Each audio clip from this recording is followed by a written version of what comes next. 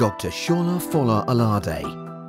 Originally trained as a medical doctor, Dr. Sola Fola Alade is respected internationally as a pastor, author, publisher, conference speaker, coach and mentor to various businesses, as well as social, political and spiritual leaders. PSFA, as he is fondly called, served faithfully for 23 years as a pastor in London, in one of the fastest growing denominations in the world. Together with his wife Abimbola, they are now the lead pastors at the Liberty Church, where they equip believers to live a spirit empowered life. Dr. Sola Fola Alade has touched the lives of thousands around the world with a simple but powerful message. His message inspires, challenges, and empowers individuals to live beyond their limitations, discover their destiny, and live by divine design. He equips people to make an impact in their generation and exercise their leadership influence in society.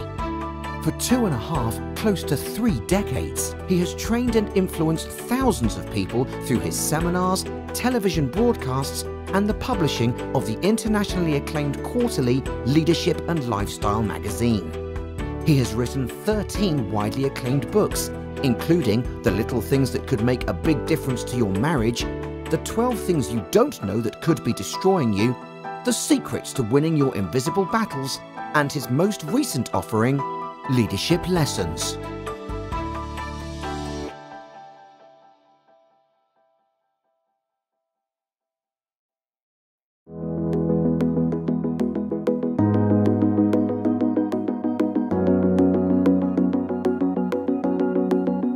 Hello, viewers, and welcome to the Marketplace Shift Conference. I'm, my name is Dr. Sola Fola-Alade, and I'm the uh, visionary pastor of the Liberty Church.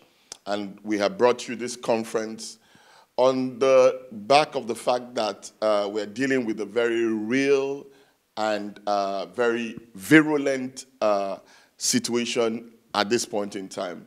Unprecedented times, like people say, and it's going to, as it were, bring about diverse issues and challenges, not just health challenges, uh, social and economic challenges. And I believe it's important to prepare uh, ourselves uh, for what is ahead and not just uh, to learn to survive, but to learn to succeed in the midst of this particular crisis that we find ourselves. And on that note, I'm going to be uh, reading uh, from a biblical text to put in context what it is we're talking about. Uh, I, am a medical doctor by training, but uh, I lead and pastor uh, the Liberty Church. I'm going to bring, in a sense, uh, my skills from uh, my various uh, experiences in life. I also ran a business for a number of years. I still have a publishing business. And it's important to know that we don't live in a vacuum uh, we live as social beings and also economic beings. And as a result, I think it's important uh, to address these social and economic issues uh, that we're, we're faced with today. So I'd ask you, if you have a Bible, to turn to 1 Chronicles 12.32. Uh, if not, just uh, go ahead and flow with me. And essentially it says, of the sons of Issachar who had understanding of the times to know what Israel ought to do their chiefs were 200, and all their brethren were at the command. What this uh, particular text is essentially saying is that, you know, uh, it is important to be attuned with what is happening around us. It speaks concerning the tribe of Issachar, the men of Issachar. They were men of understanding, they were discerning. They understood the times they were in and they took advantage of it by knowing what to do and doing it. I'm also going to look at a particular scripture in the book of Genesis, chapter 41, 33 to 36. And this is a text about a man called Joseph. And this is a man that also uh, was attuned with the times, understood trends, and was able to read uh, future trends, anticipate them, and prepare for them. And this essentially is the ethos of what it is we're going to be talking about today. Um, and it says, Now, therefore, let Pharaoh select a discerning and a wise man and set him over the land of Egypt. let Pharaoh do this and let him appoint officers over the land to collect one fifth of the produce of the land of Egypt in the seven plentiful years, and let them gather all the food of those good years that are coming, and store up grain under the authority of Pharaoh, and let them keep food in the cities, that the food shall be as a reserve for the land for the 70 years of famine, which shall be in the land of Egypt, that the land may not perish during the famine. So Genesis 41, 37 to 41 says, So the advice was good in the eyes of Pharaoh and in the eyes of all his servants. And Pharaoh said to his servants, Can we find such a one as this? A man in whom is the Spirit of God. And this is what we're hoping will be said concerning you in your field. Then Pharaoh said to Joseph, Inasmuch as God has shown you all this, there is no one as discerning as wise as you. You shall be over my house, and all my people shall be ruled according to your word. I am praying that it shall be said concerning you that there's none as discerning and wise as you in your industry or in your organization, and then you'll be set over all. Let's bow our head for a short word of prayer. Father, Lord, we thank you as we open up uh, uh, this session. It is my prayer that you will enlighten us and give us direction uh, for the coming weeks to months so that we can navigate it and not just survive but succeed at it. God bless you all and one, welcome once again to the Marketplace Shift. And we're talking about succeeding at work after surviving the pandemic. And the reason why we're talking about succeeding at work uh, after surviving the pandemic is, is because I am praying that you will not have to worry about surviving the pandemic because you will. And so let us look at how we can uh, navigate succeeding after the pandemic because it is clear that the pandemic could last, they say, for up to 18 months to two years. Because uh, uh, the experts in the medical field said that it may take up to uh, uh 18 months to two years to come up with a viable vaccine. And before then, you know, there, there, there are going to be various degrees of lockdown and social distancing measures. And the truth of the matter is that we may not be able to return to what we knew as normal until as much as two years. And we know what has happened to the economy so far in the last two uh, months to two and a half months, uh, not to talk of what will happen in the next few months to come. Uh, many are afraid that they will lose their jobs. Many have already lost their jobs. And uh, if, if, if, you look at what's happening uh, in the various parts of the world today, no country is exempt. Even the big nations of the world uh, actually seem to be suffering even more than others. Individuals and organizations uh, had plans for the year 2020, but things have changed significantly because of this massive disruption. I think one can say that the fu- future of, of work has shifted. Not only is there a global shift, but there is a marketplace shift. The market has shifted, many industries have shifted, many jobs or work as we know it has shifted. I say that the future has been brought forward. Uh, only a few uh, months ago, um, uh, January, I believe it was the 13th of January to be precise, I, I conducted a goal setting seminar where we were planning uh, the next 20 years and looking at preparing for the future and planning, you know, this particular year, 2020. And I went as far as looking at various industries over the time, comparing how at the beginning of the century, when we hit 2000, you know, I said that, you know, uh, people were planning and, and, and in a sense, uh, uh, uh plotting and envisaging what the new century will bring. And I, and I said, you know, 2020, uh, 20, yeah, if you think about it, in comparison with 2000 is only 20 years ago. And I said to them that 2040 can quickly creep upon us. And I remember at the time, you know, uh, some many years ago, you had to walk into a bank to cash money or to pay money. Now you don't have to. There are ATMs and all of that. So things have shifted. And I went as far as saying that even churches will, in 20 years' time, may experience a major shift. And I said, and it was just speculative. And I said that, look, in 20 years' time, people may not have to go to church, that we may have to take church to people digitally. Little did I know that 20 years was going to be fast forwarded in two months. Here we are today. And so, what does that mean? In my own simple conclusion, I would say the future has been accelerated. The future has been accelerated, which means that the future has been fast forwarded. It's almost like as though somebody pressed the fast forward button to bring 20 years in today. The future is right here and now with us. But there's something about crisis. You see, what is usually confusing in good times usually becomes clearer in crisis times. You know, when you where you were concerned about things and things were vague, you were not clear about what was important to you. When crisis hits, what happens is that uh, it reduces us all to the barest essentials about what is important. Okay? That, listen to this, family is important. Uh, things like uh, just basic uh, health is, is important.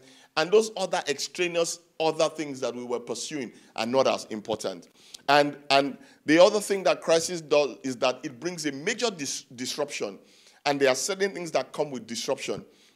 You know, with disruption, you would, you would face uh, uh, challenges. And some of the challenges that we have experienced so far, uh, when we look at the economy and society as a whole, there have been many failing industries. Some these industries will be wiped off, as it were. Some particular jobs have been, have been cleared out of the way. I'll give a few, for example. For example, the travel industry has been grossly shaken massively.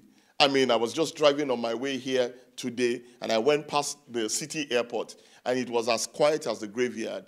No plane taking off, no, no, no, no, no, no plane landing. And, you know, we've never seen this before. Airports are usually buzzing and busy. And, you know, airlines ha- have shut down. They've had to let go of a lot of their staff. Hotels are vacant. Yeah? The tourism industry is affected. Nobody is sightseeing at this time. The leisure industry is greatly affected. You know, uh, restaurants, pubs, and uh, those kind of uh, places where there's, there's socializing, drinking, and, and feasting. All of that has been greatly affected. Strangely, uh, the, real, the oil and gas industry, apart from the pandemic, has, been, has had a massive blow. And I will show you some things later on that how, how uh, uh, uh greatly it has been dented. And, and for a number of reasons, because right now, most people are home and you know when you are home you're not driving your cars so you're not using your fuel and then also planes aviation fuel is not being used so the, the prices of oil has plummeted and then we also have real estate. Nobody is buying homes now. Everybody's sitting at home. Uh, nobody uh, is, is, is looking is going out there to buy homes. So the real estate industry is affected. And guess what? Fashion too. There's nowhere to wear your nice clothes to. So even, even though many fashion and retail outlets are now having their prices because nobody is walking into stores anymore. And so when we talk about air travel in the United Kingdom, it was said that last week compared to the week before, air travel has come down by 93%. 93%. Wow. Which means uh, for every 10 times that there was a flight uh, uh, uh last month or two months ago, uh, you know, it's been reduced to just one flight. And, and those flights are mainly cargo flights or charter flights. British Airways is making one, sorry, 12,000 people redundant. That is one out of every four employees is being let go of. Boeing in America says they will cut uh, 16,000 jobs. 16,000 jobs. Uh, in Nigeria, Arik Air, I heard, got rid of 95% of their staff because nobody is traveling, nobody is traveling internationally um, and hardly locally. I mean, I hear that many financial institutions here in the UK and, and, and in the US and other major cities of the world are letting staff go. Um, I heard that uh, possibly that Goldman Sachs said they, are, they will get rid of half of their staff. And oil prices are, uh, is such that, I mean, we're beginning to see and experience things that we never thought possible. Uh, around 2014, I heard that the oil price could have gone up to as high as $110 uh, per barrel. 2015 to 2019, almost half to $60 per barrel. 2020, as at last week, came down to $21 per barrel because of oversupply and very little demand. I overheard a particular uh, uh, uh, president, or was it a vice president, say that the oil price actually came down as much as $13 per barrel. I mean, these are extraordinary times. Major disruption in, in major industries uh, uh, that, that has brought, you know, a serious failing of many industries, jobs, organizations. I mean, but also the disruption has presented opportunities. You know, that's the thing about this life. While some are going down, others are going up. And, you know, it, it, it is my mission today and objective to open your eyes to, you know, what the opportunities present so that you can also avoid uh, uh, what it is are the failings. And uh, what does this mean for us? You see, um, as, as the leader of a church and uh, one who has oversight over many people, you know, um, we, it, we I, I said, let us take the bull by the horns because it is important that we deal and address these issues because we don't want a welfare situation where thousands of our members are, you know, uh, queuing up for welfare and looking for handouts. Rather, let us prepare our members and prepare people for workfare so that they can prepare and reposition themselves in the new economy that is about to develop after this pandemic and even during the pandemic. What are the growing industries? You see, like I said, in any situation or circumstance you find yourself, you will always see that there are uh, those who will go down and those who will rise on top of it. In the midst of all of this, there are certain economies that are thriving and thriving phenomenally. The medical field, you know, cannot right now have enough doctors they're looking for doctors, they're looking for uh, med, uh, uh, um, nurses, um, you know, lab technicians, biochemists, you know, um, and, and epidemiologists, statisticians, data scientists. That, that field, you know, it, it's evident that there's a future in medicine. You know, I'm sure, um, you know, the society as it is, countries in the world, especially the United Kingdom, will probably make room for more doctors you know, immigration concerning doctors and medical professionals will probably be eased over time uh, so that, you know, we can build, as it were, uh, our, our, army of uh, uh medical professionals. Uh, and so you will find that medicine will definitely grow, okay? Um, technology has, has grown. This is the day of tech. If you did not know that before, know that now. This is the day of technology. And I will show you in a short while. Telecoms has grown and is growing because communication is on the increase. Education continues to grow, uh, but you know, uh, with, uh, particularly with the use of, of, of telecoms. And then the food industry, it doesn't matter what is going on, whether it's war, a pandemic, or, or whatever it might be. Yeah, we must eat. People must eat. So food, you know, grocers, uh, um, uh, farmers will continue to thrive. This is what is interesting about this particular uh, um, um, uh, pandemic situation. You know, uh, one of the one of the meteoric rises of organizations in this season is Netflix because everybody's at home. everybody's at home, and you know, uh, we're all faced with a sit down at home um, um uh, uh, situation, and Netflix has grown exponentially. Could you ever believe or have ever thought that there will come a time where Netflix uh, will have a greater valuation than ExxonMobil? Um, ExxonMobil, rather, that Netflix will have a greater valuation. Right now, uh, Netflix is valued at $183 billion in comparison with ExxonMobil. that is phenomenal. That a leisure or rather an entertainment co- company is measured uh, or valued higher on the stock exchange or the stock market than an oil and gas company. Why? Because of the uh, uh, various things that are happening within the oil and gas industry. Zoom, while other organizations are shutting down, Zoom is going up. They have increased their revenue and patronage by 400%. 400%.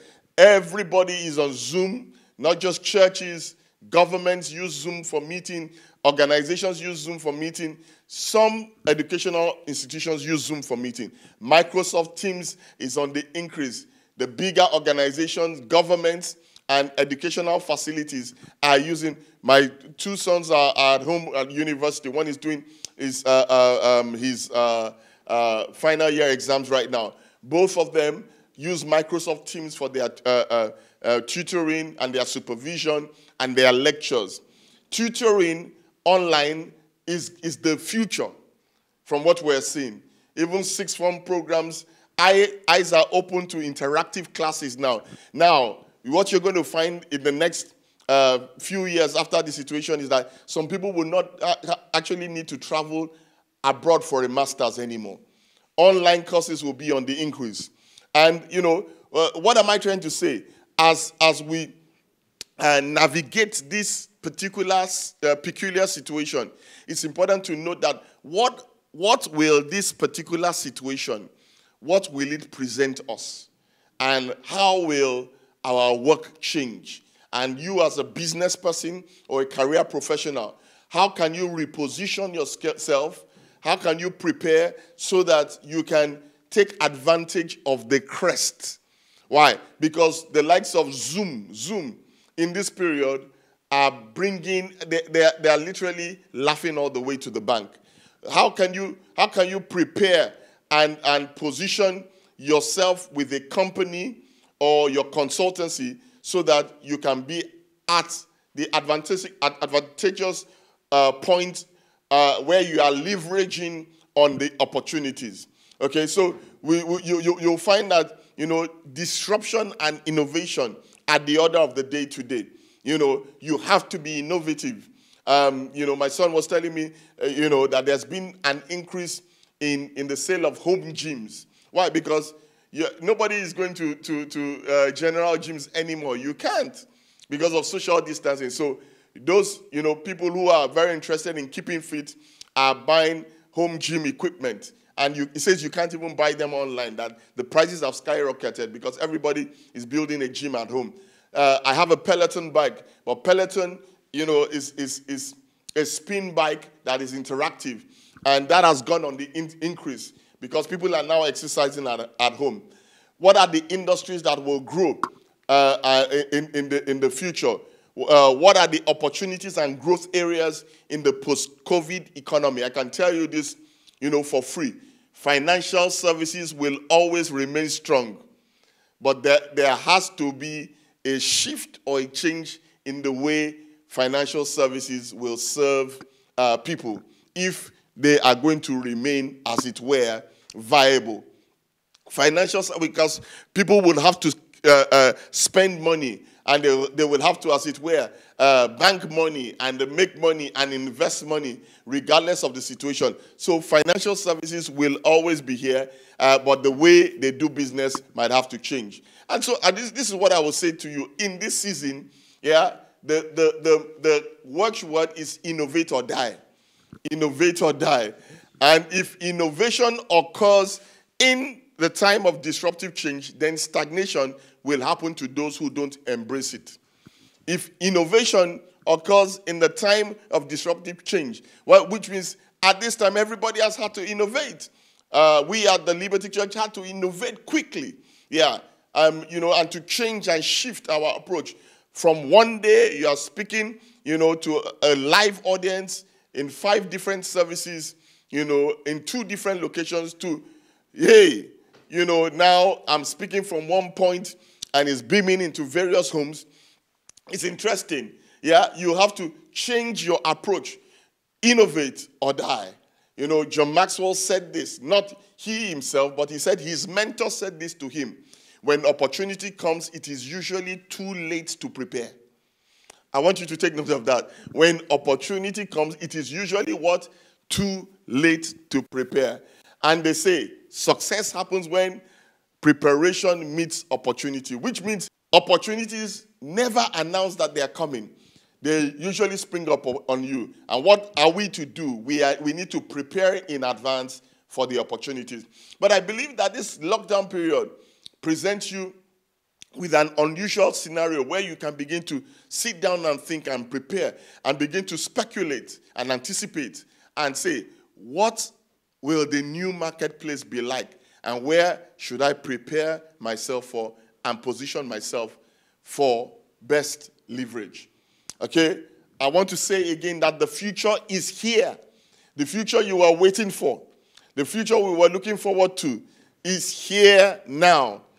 And what do I mean by the future is here? We are experiencing what you call an accelerated digitization of the world. What do I mean by that? Let me paint the context for you so that you fully understand this. You see, the world has gone through various changes over the world. We started in an agrarian economy, which is, was agricultural based. You know, the main uh, uh, state of employment was farming and hunting, okay? And then when we came around the 1800s, actually towards the end of the 17, uh, uh so 17 something, 1790, thereabout, then there was the in invention of machines. Uh, you know, things like the uh, uh, um, things like mass production machines, corn mills, uh, um, railway, and all of that stuff, locomotives. And then what happened was that it gave birth to the industrial age. People left, you know, agriculture, they left farming, they left uh, the countryside, and they began to move into cities in hordes. And this brought, this brought a massive shift to the economy. Nobody wanted to take jobs on the farms anymore. Everybody wanted uh, jobs in the city, in the printing press, in the, in the uh, flour mills, uh, uh and in places like textile factories. And so there was an over, overpopulation of cities. Then in the 1900s, the beginning of the 1900s and the ends of the 1800s, 1890 something, then we had the, uh, uh, the entrance of what we call the communication age or revolution. And this was the period where things like radio was in, uh, discovered and invented, uh, uh, television was invented, uh, the phone was, was invented. This improved communication to a massive degree. You know, you could watch um, you know, somebody broadcasting right from your home, listen to people broadcasting from across the world, and speak to people on the phone from miles, thousands of miles away. And that was the 1900s. But you know what? We have come into what you call the digital age or the digital revolution, which actually started at the end of the 1990s. Okay? The 90, I, I, remember I came onto the internet in the 1998. Uh, so the internet or the digital age started again. Have you noticed each of these uh, revolution or ages usually start at the end of the century? And then, then develops within the century. Now, in 2020, we have come to, in a sense, um, a massive acceleration of the entry of the digital age. You know, where, you know, most of the world was, you know, partly analog and, you know, uh, uh, um, you know, just ordinary living and face to face.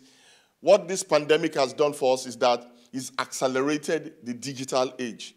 And what does that mean for us? All of this is not just information for information's sake. It's important to help you note and understand that we are in the age of digital transformation. Uh, this year has forced everybody to go digital. Uh, in the church world, from the church of two, three, four, five people to the church of 50,000, 100,000, everybody had to go digital because of the pandemic and the lockdown.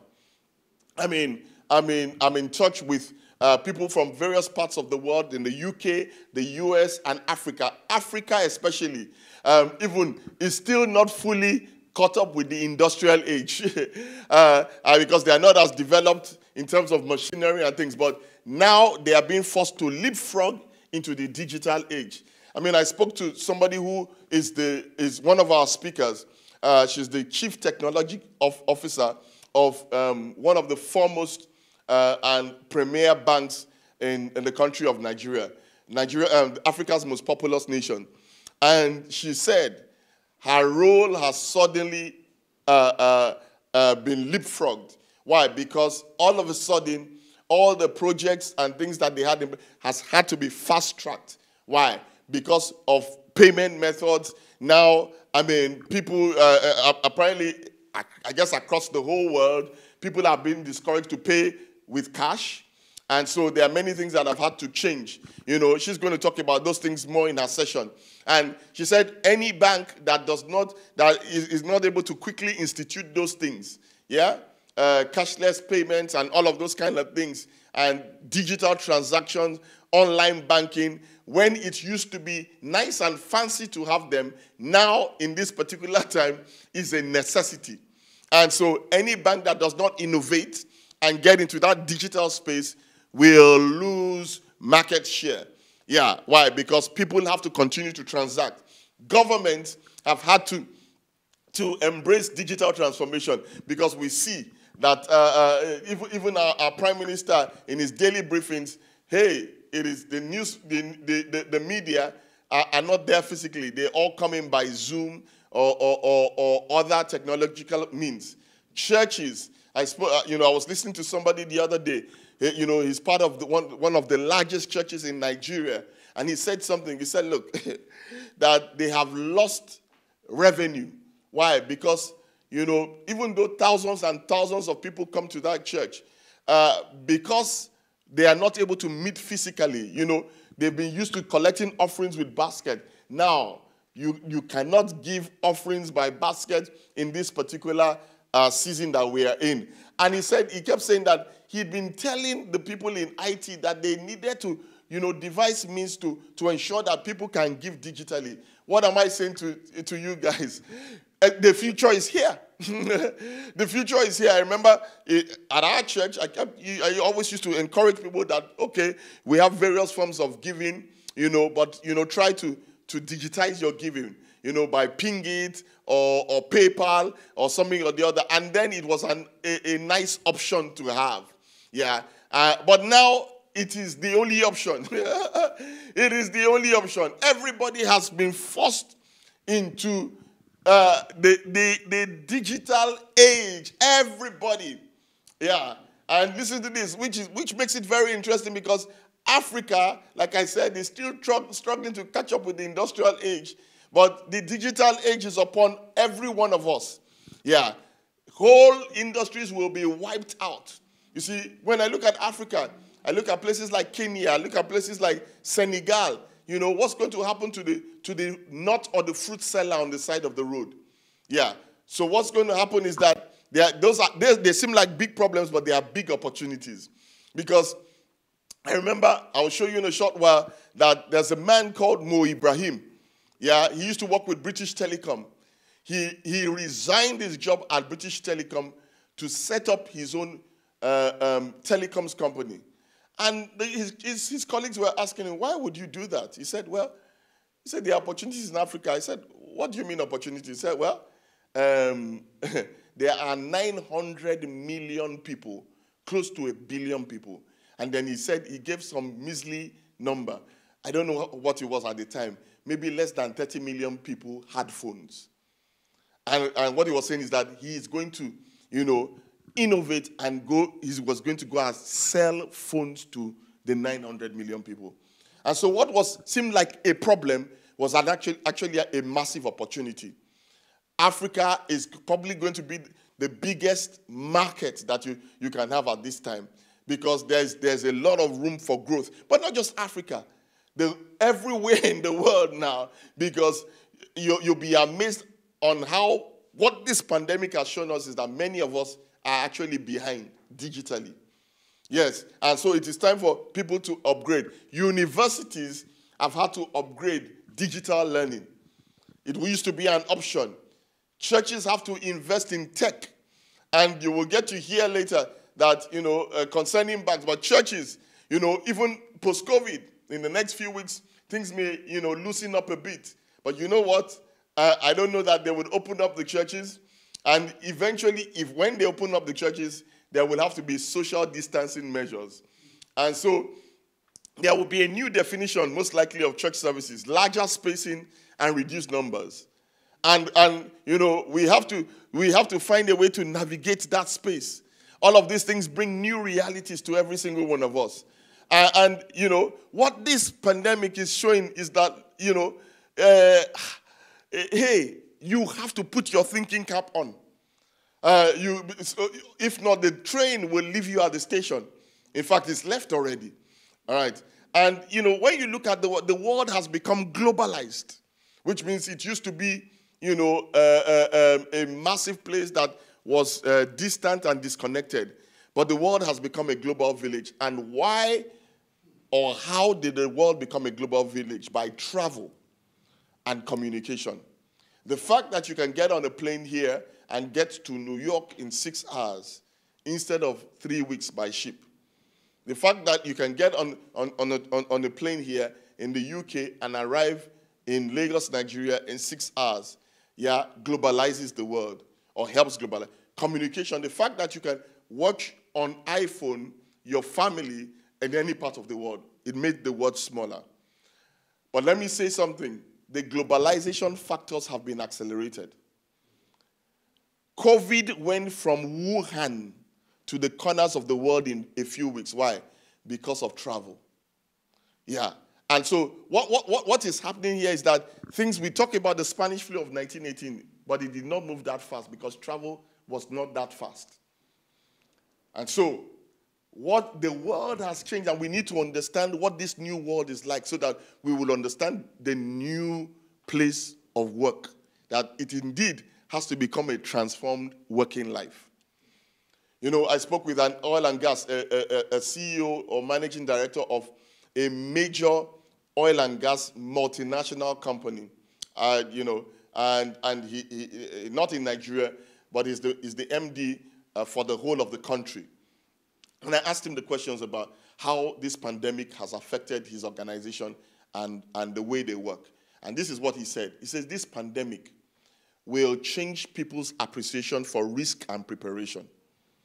For risk and preparation. What he was saying essentially is that nobody envisaged, you know, this kind of shock to the system. And he said, you know, you know, over the years, he's had various risk people come in and talk about business continuity plans. And those things, when they spoke concerning them, they spoke concerning them like, oh, well, it was things that they just had to do, you know, they were just routine. But you know what? And he said something. He said, I said, how, how has it affected your work? He said, well, not substantially because they always used to, you know, come, the compliance people say, business continue. Have you, have you put that in place? In case of this and that, is that in place? And what they have found is that, listen to this, that, you know, uh, they have found that working from home, from a distance and from home, yeah, is the new normal. And he said to me that, you see, they had been practicing these things for years. That just in case certain things happen, something happens within the government in the nations that they are, so they were ready for it. That's one organization that was ready for it. The question I'm asking you is Are you ready for the new economy? Are you ready for the new normal? And so the next question, or set of, of, of, of or next question I want to answer with the next uh, uh, uh, set of answers is who will succeed post the COVID economy? Who? What kind of person? Number one, the future is in the digi- digital economy. I just established that. And those who are able to create digital solutions will be the one to thrive. it doesn't matter what field you're in. You can even be a lawyer, yeah? But are you digitally a digital savvy lawyer? You know, are you able to create solutions? Let me give an example. In, look, they, they say that there's going to be more litigation post COVID because there are many things, you know, people who have uh, um, rented facilities, wedding, paid 20,000 pounds and more, you know, and the, the, the, the, the venues don't want to pay back, and the, the, the couple want to rebook their wedding and may want to go to another venue. So there's going to be a lot of litigation. But apart from that, there's going to be new laws, new things. And, You know, uh, we, we need to have lawyers who understand, you know, the sp- cyberspace. uh, you know, there's so many things that, that, that are going to be developed in this new economy. And it is those who can create solutions, accountants who will be able to, you know, do things digitally, who are able to come up with solutions that, that serve these peculiarities. Remember, I spoke concerning Mo, Mo, Mo Ibrahim. Mo Ibrahim came up with a solution for Africa. It, um, his company was called Cellnet, about providing cell phones for as many people as possible. He did that for a few years and sold the company for $3 billion. Why? Because, listen to this, he entered into a new developing economy. Yeah? But let me say this, like I said earlier Africa is not the only developing economy. Even in Europe today, the digital economy is developing. Clearly, in parts of the world like Africa, South America, and poorer parts of Asia, yeah, you know, there's, there's need for infrastructure development. Why am I saying all of these things? To some, it may sound technical, but you know what? That is where your future is. And so, whether you're a doctor, whether you're a lawyer, an accountant, you can't just go and do project management because everybody is doing project management. You can't just do uh, a networking because you have to think. Because listen to this, you know, the, the new economy is going to shed excess weight. You, yeah, it, it definitely is going to. And the people who will remain viable and employable are people who understand the, these things I'm speaking about. So the future is in the digital, economy, and those who create digital solutions are the ones that will thrive and survive. Two, those who see the needs quickly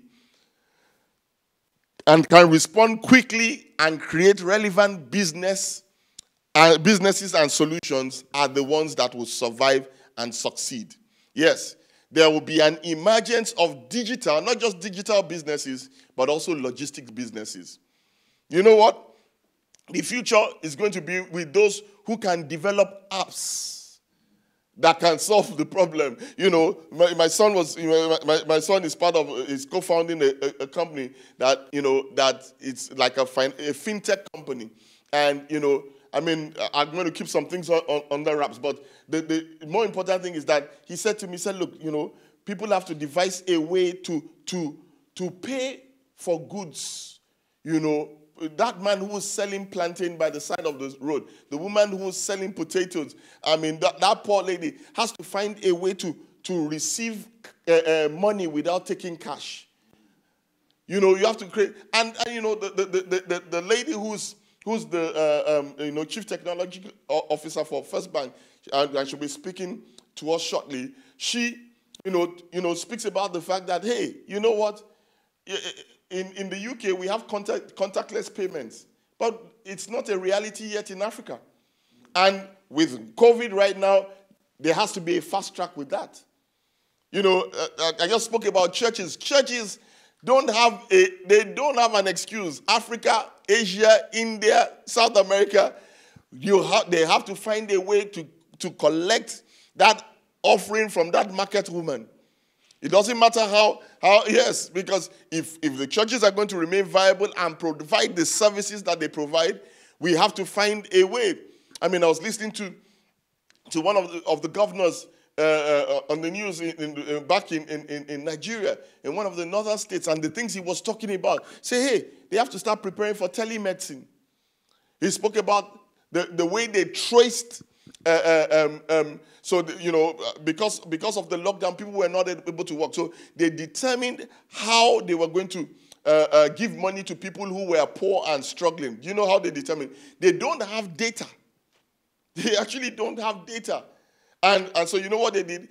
They, what the, the best they have is people's phone records with, with, with mobile phone companies when they register. So what they did is that they said anybody who was in, in a week or so able to credit their phone with just 200 naira and less. 200 naira is less than 50p. Yeah, for a week, they consider that person poor. And then they were able to send messages to that, that uh, person and wire money to them through their text. Because those are people that. So you see, you have to, you have to be innovative. That's a government serving its people. They had to think outside of the box. On how, how they can reach people and respond quickly. This is the age that we are in. And guess what? Any man who comes or woman that comes with an app or technology that can help serve the government will be employed by that government. Remember, we're talking about we're talking about uh, Joseph. Yeah, who is that wise and discerning man? You know, this is not about what degree and what university you came from. It's what solution do you have? There will also be emergence of logistic businesses, you know, because it, uh, regardless of what you order, food still has to be delivered.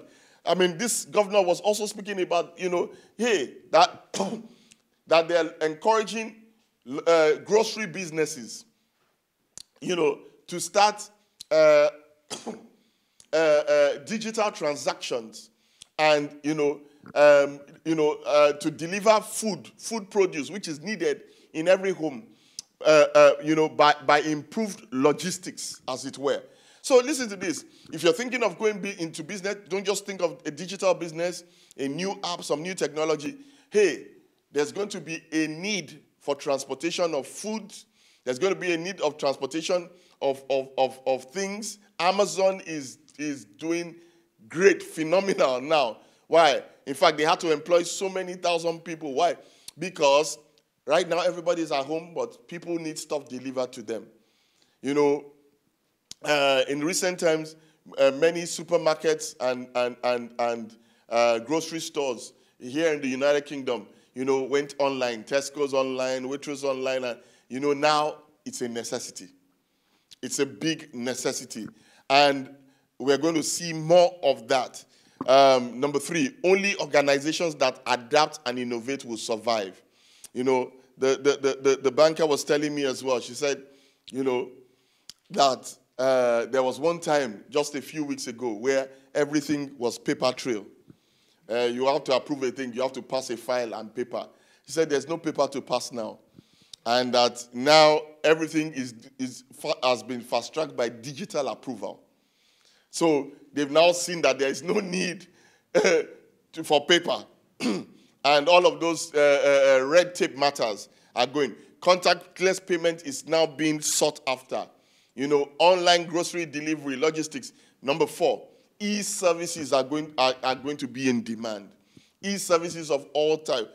And what that means, like I said, lawyers, firms, um, education, training, everything is e. Yeah? Medicine is e-medicine by Zoom. yeah, everything is going to be e-services. But you know what that presents? The reason why I'm mentioning this is that, you see, if everybody is going digital, you know what that means? We all need increased bandwidth, Wi Fi. I mean, just over this pandemic, you would have witnessed most people were bored and they now all went on Instagram Live. I, I do an Instagram Live session 7 p.m. every day. One time it just kept breaking and cutting, and I was wondering when I realized everybody is on at the same time. And so there's going to have to be an increase in bandwidth. There's going to be an has to be an, an improvement of connectivity. The reason why I'm saying all of so some of you are saying, so, well, what does this mean to me?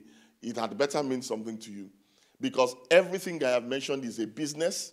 Everything I mentioned will need ancillary services. We will need professionals for them. And so when you're, when you're going to study law, you had better go and study cyber law uh, uh, and things related to that. Your accounting had better be that way acquainted. And, and various other things. Whatever you are doing right now, make sure it has a digital element to it.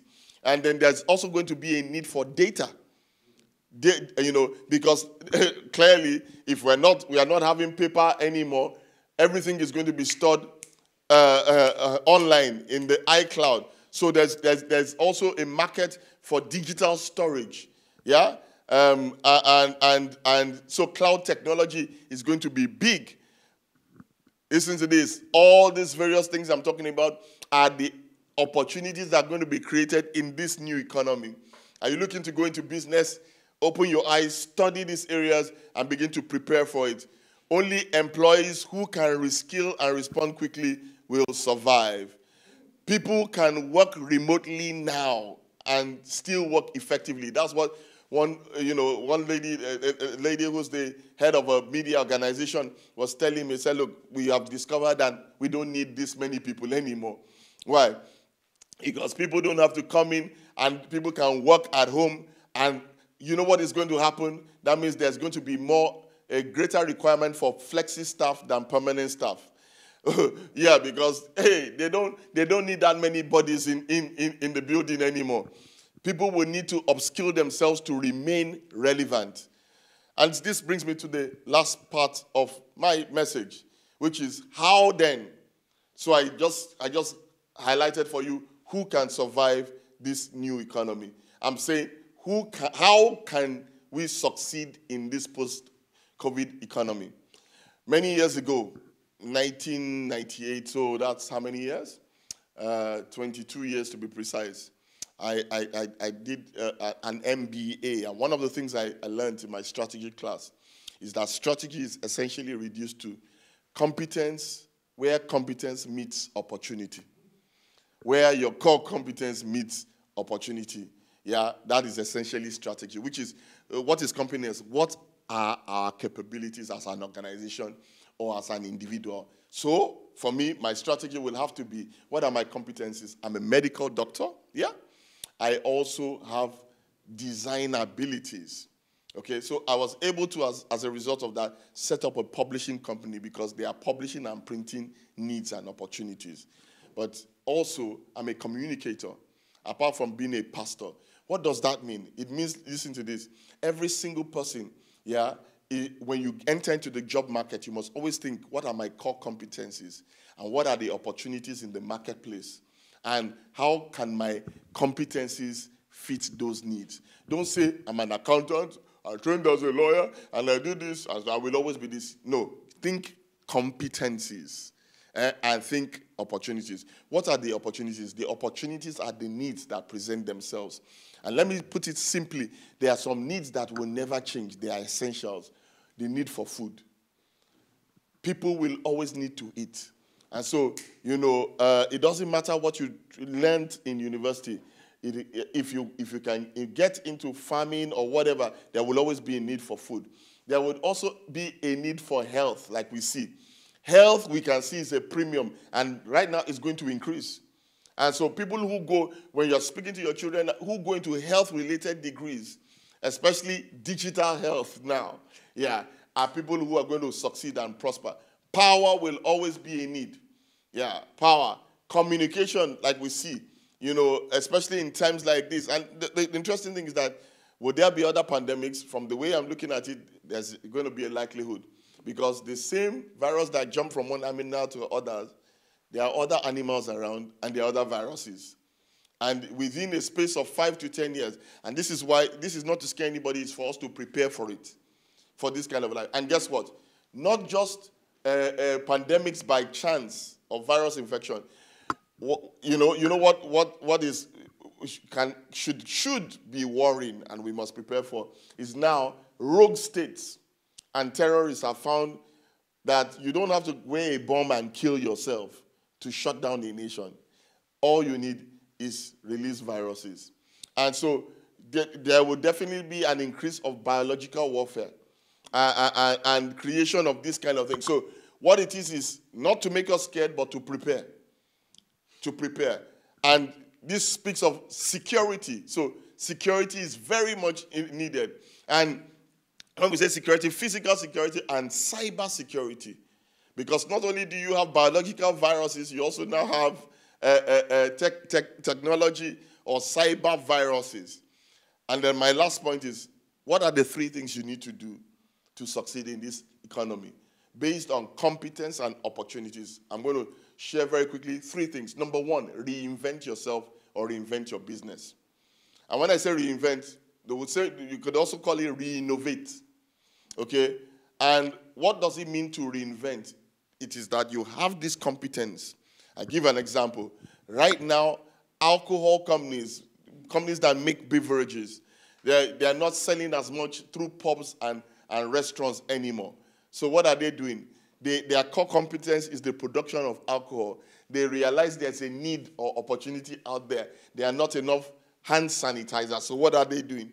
They have now channeled their alcohol that they would have used in making drinking alcohol to making alcohol for hand sanitizers because of the demand. That's the way you want to think. That means they reinvented their capability to, to satisfy a need. Do you know right now, they, you know, there's, you, there's not enough uh, face masks, masks in the world. so what's happening? Tailors and fashion designers. I was speaking with a lady who's a fashion, a very you know big uh, fashion designer in in, the, in, Lagos, and I said, "How you guys?" They said, ah, "There's not been any business for the last two months." And then I said, "So what are you?" She said, ah, "You know, she, they used to sell clothes for as much as fifty thousand, a hundred thousand uh, naira, which is about a hundred pounds, two hundred pounds." She said, "They haven't sold anything since." because nobody's interested in fashion. But you know what they've now resorted to doing? Making face masks. And they have one as cheap as 500 naira, which is a pound, one for 1,000, and, said, and then the designer ones for 3,000 naira. What am I trying to say? That's what you call reinvention. Okay? And how do you reinvent? You reinvent based on your core competence. Yeah? I, to reinvent myself, what, you know, uh, I can't go beyond my skills or my abilities. I'm a medical doctor. I'm a media person, a design person. I'm also a communicator. And what does that mean? You see, I will show you later that you can do, you can reinvent, but it will cost you a lot. And so, what are the core competencies? So, Honda, Honda, the car, um, the, the, the organization Honda is into engines. And so, by reason of their, they can reinvent uh, from a car company to making motorbikes. And like many car companies have done, you can reinvent to create ventilators. Yeah. And that's the need at the moment. They can reinvent to make lawnmowers. Yeah. But they cannot reinvent to make mobile phones. yeah. I, I mean, what I'm saying is reinvention has to do with something that is close to your abilities, or it will cost you a lot, a lot of money. Canon, on another note, their, their area of competence, research and development is in optics imaging. So they, they, are, they, are, they are good at making cameras, copiers, and scanners. They can't make lawnmowers. If not, they will change their whole. So that's number one, reinvent. And when we're talking about individuals and vocations, yeah, you cannot reinvent too much outside of the area of your competence. If you do, you will lose time and, and energy. And number two, in this uh, post pandemic economy, you have to learn to reskill. The people who will survive and succeed in this new economy are the people who will develop digital skills. Yeah, and, and the people who will not make it are the people who have not upskilled. And so, you know, uh, just at this point in time while you are home, make sure you are scaling up, scaling up, upskilling. And then, like I said earlier, you can, when we talk about reskilling, you can also develop new competencies altogether. What does that mean? But that's a lot of hard work and time and money and energy. I know a lady who, um, you know, developed, I graduated from university in the humanities, something like uh, sociology, uh, psychology. But you know what? She went back to university for three years to study pharmacy. You see, uh, you can do that. and in this new economy that is tending towards health, that's a good place to go. But again, it takes time, it takes money. Okay? And then the last point is to reposition oneself. What does it mean to reposition?